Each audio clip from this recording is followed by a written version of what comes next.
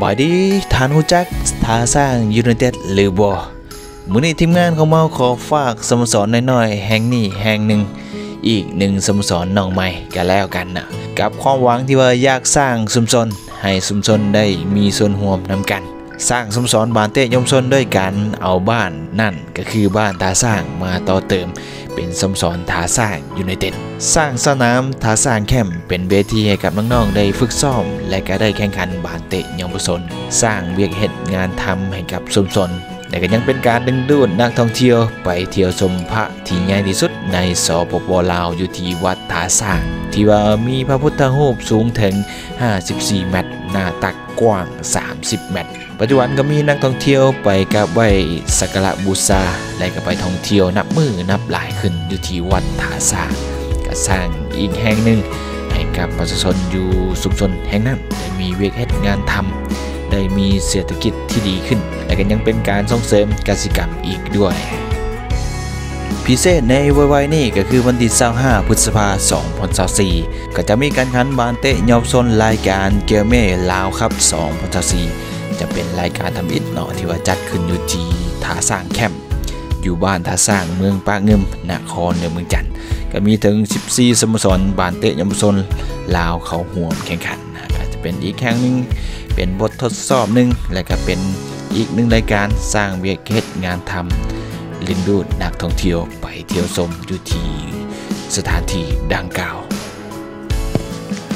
ครับสสวัสดีเนาะข้าพเจ้าชื่อจันทคาตเชียนฟองไซเนาะที่ว่าได้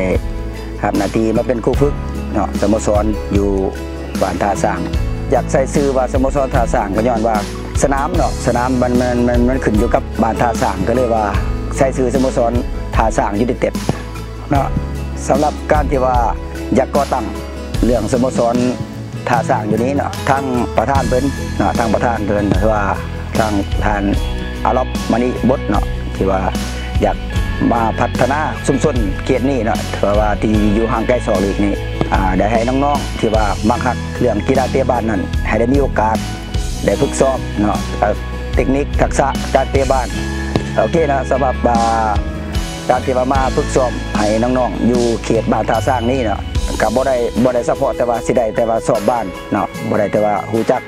รักษาการเตะบ้านอย่างเดียว แล้วก็น้องๆก็ยังได้เรียนรู้เรื่องวิธีการการเฮ็ดการเกษตรเนาะถือว่าการปลูกพังการนี่ละ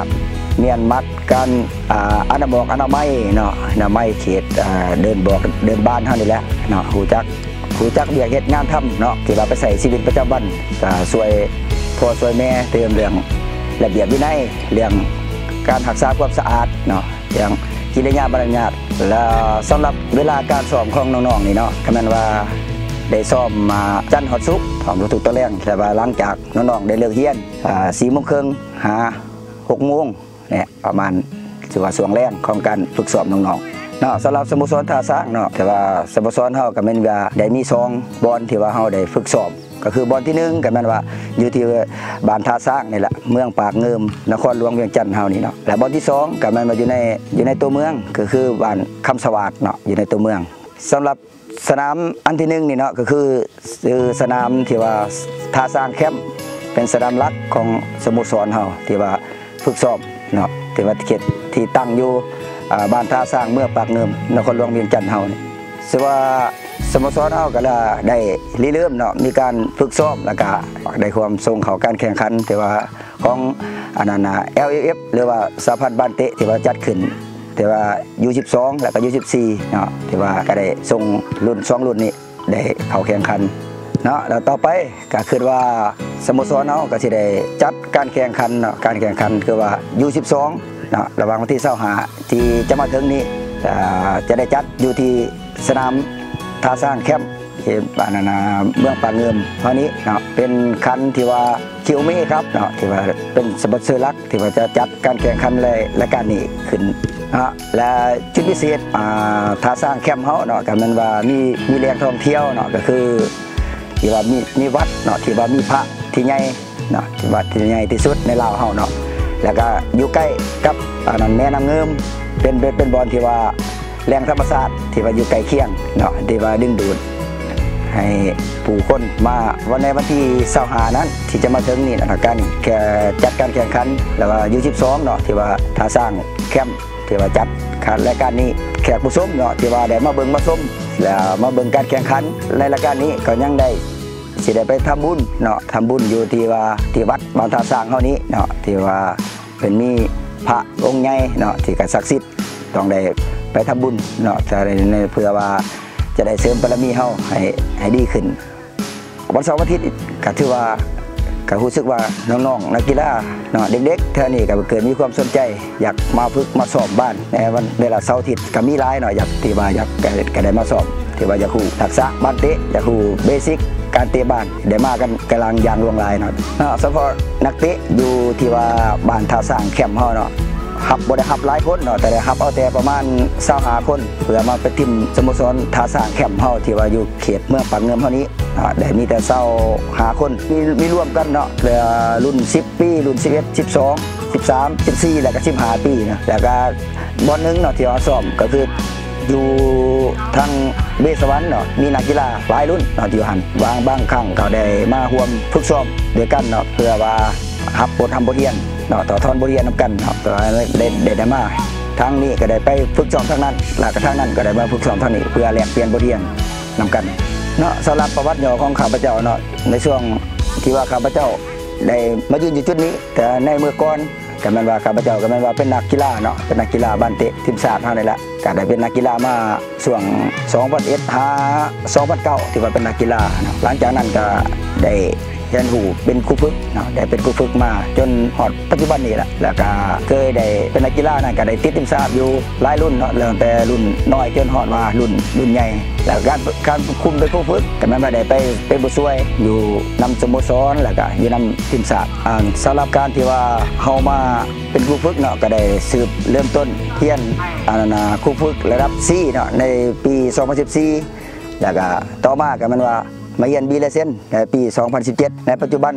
ในช่วงนี้กำลังศึกษาต่อที่ว่าเอเลเซนนะนี่ก็มันมีข่าวดีอีกหนึงเนาะที่ว่าเฮามีสปอนเซอร์ลักก็คือคิโอเม่เนาะที่ว่าได้มาอุปถัมภ์เรื่องเครื่องนึงเรื่องอุปกรณ์เนาะแล้วก็ในการจัดการแข่งขันคิโอเม่ครับที่วันที่25ที่จะมาถึงนี้เนาะได้ข่าวดีเนาะสโมสรเฮาได้ข่าวดีที่ว่าได้ได้ได้มีสิทธิ์ที่ว่าได้ไปส่งอ่า บ้านเตะยิ่งเนาะที่จะว่าส่งเขาลาวลีจะจัดในไว้ๆนี้เนาะแล้วสุดท้ายนี้ก็ขอขอบใจเนาะทางสปอนเซอร์เนาะที่ว่าให้การสนับสนุนก็คือคิวเมเฮาเนาะแต่ว่าห่วงอุปถัมเรื่องอุปกรณ์เครื่องนุ่งห่มเนาะให้แก่สโมสรท่าสร้างแคมป์เฮานี้แล้วก็ขอขอบใจพ่อแม่ก็พ่อแม่ผู้ปกครองเด็กน้อยที่ว่าให้ลูก ได้มาอ่าฝึกแอบฝึกซ้อมอยู่ในท่าสร้างแคมป์เฮานี้เนาะขอขอบใจหลายๆเนาะเจ้าอะนั่นก็เป็นเรื่องเล่าของท่าสร้างยูไนเต็ดทาสร้างแคมป์ก็เป็นเรื่องเล่าย่อๆกันเลยนะเดี๋ยวเราจะไปปิดท้ายกับเส้นทางย่อๆเนาะที่ว่าจะเดินทางไปท่าสร้างนะเราจะไปเบิ่งนำกันก็เริ่มจากวงเวียนดอนนนก็ได้กันนะก็ขี่ไปตามทางไงไปทางถนน 13ไต่นะ ลงไปไต่นะแล้วก็ไปทางสนามกีฬาแห่งชาติลัก16นะขี่ไปตามทางไงซื่อๆกันเลยล่ะขี่ไปประมาณ 30 กว่ากิโลเมตรนะหลังจากขี่มาซื้อก็จะหอดลัก 40นะก็จะมีหอมเข้าไป จะมีบานหน้าสังไพนะเลี้ยวซ้ายเข้าไปนะไปซื้อๆกันเลยล่ะประมาณ 5 กิโลเมตรก็จะมี 3 แยกอีกครั้งหนึ่งนะจะมาหอด3 แยกตัวนี้จะเป็น 3 แยกไปทาง วัดถาสร้างและก็นำเปลี่ยนยอลปานะจะเลี้ยวซ้ายไปทางเดียวกันเลยนะหลังจากนั้นก็ไปจะเจอ3แยกอีกครั้งหนึ่งนะก็จะได้เลี้ยวขวานะสามแยกเริ่มมีทางแดงกันแล้วนะก็จะได้เลี้ยวขวาอยู่ที่สามแยกแห่งนี้เนาะเลี้ยวขวาแล้วก็ไปซื่อๆไปซื่อๆก็จะเข้าสู่บ้านท่าสร้างนะก็จะมีโรงเรียนโรงเรียนท่าสร้างนะก็ได้พาโรงเรียน โรงเรียนเหมันจะอยู่ในกำซ้ายมือนะแต่เราจะขี่ไปซื่อๆตามทางไงเนี่ยแล้วก็จะไปฮอดสามแยกจะได้เลี้ยวขวาแต่จะบอกทางสั้นๆเอาก็แล้วกันนะจะได้เลี้ยวขวานะมาฮอดจุดนี้เลี้ยวเข้าไปทางแดงนะที่เข้าไปประมาณ 5 กิโลเมตรนะก็จะได้เห็นหัวนะเป็นฟาร์มเขาเริ่มจะมีฟาร์มกันแล้วนะในแค่นี้นะอ่าสโลแกนของเมืองปักเนิมก็คือการสร้างการสร้างการเกษตรนะ แล้วก็จะขี่ไปตามทางใหญ่ก็เลยเนาะมาฮอดสามใหญ่ให้เลี้ยวซ้ายไปตามทางใหญ่คือเก่าเลี้ยวซ้ายไปประมาณ5กิโลเมตรก็จะฮอดก็ได้ทางเข้ามันน้อยๆเนาะพอจะมีการติดป้ายให้ตื่นทางนี้มันทางลัดนะจะฮอดไวกว่าส่วนว่าทางใหญ่จะไปสื่อประมาณ 1 กิโลเมตรสกีเข้ามาประมาณ1กิโลเมตรก็จะฮอดสนามทาสางแคมป์ซึ่งว่าสนามทาสร้างแคมป์ก็อยู่ติดกับวัดทาสร้างคือห่างกันเพียง 1 กิโลเมตรเท่านั้นนะ ย่างไปก็ได้นะจากสนามทาสางไปวัดพระที่ว่าใหญ่ที่สุดในสปปลาวอันนี้ขี่เข้ามาบริเวณของอ่าทาสางแคมป์กันแล้วนะอ่านี่ก็จะเป็นสนามนะอยู่สนามก็จะเห็นทั้งนั้นเสียนของพระพุทธหูปที่ใหญ่ที่สุดอยู่ที่วัดตาสางอันนี้เสียนของพระพุทธหูปอะก็จบไปย่อๆเนาะการแนะนำทางไปเดี๋ยวอาจจะมีการแปะโลเคชั่นไปให้เติมกันเลยกัน ถ้าผู้ใดต้องการไป